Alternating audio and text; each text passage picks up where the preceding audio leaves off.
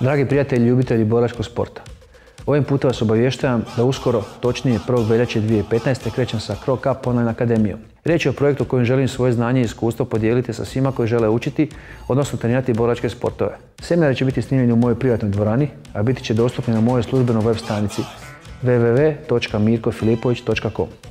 Seminari će obuhvaćati sve segmente stand-up i borbe u parteru, to jest ćemo sve segmente kickboksinga i slobodne borbe.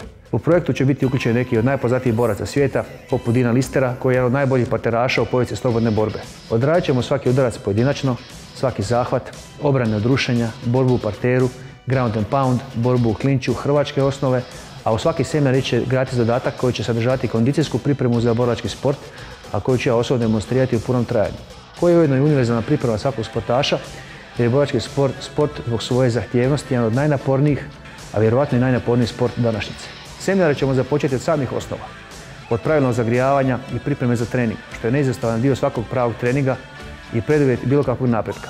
Obradit će se svaki udarac pojedinačno rukom i nogom, kombinacije ruku i nogu, a posebno zadovoljstvo će mi predstavljati seminar u kojem ću prezentirati i detalje objasniti moju specijalnost high kick, koju obilježio moju karijeru.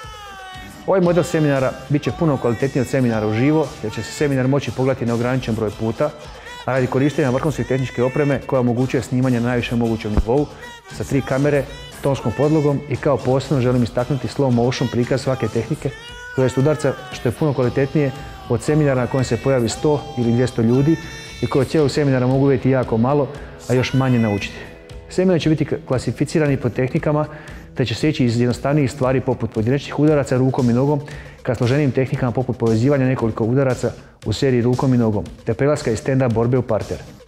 Borlački sport obilježuje moj život i to je jednostavno dio mog života i na ovaj način želim ostati aktivan u ovom sportu i nakon što završim svoju karijeru.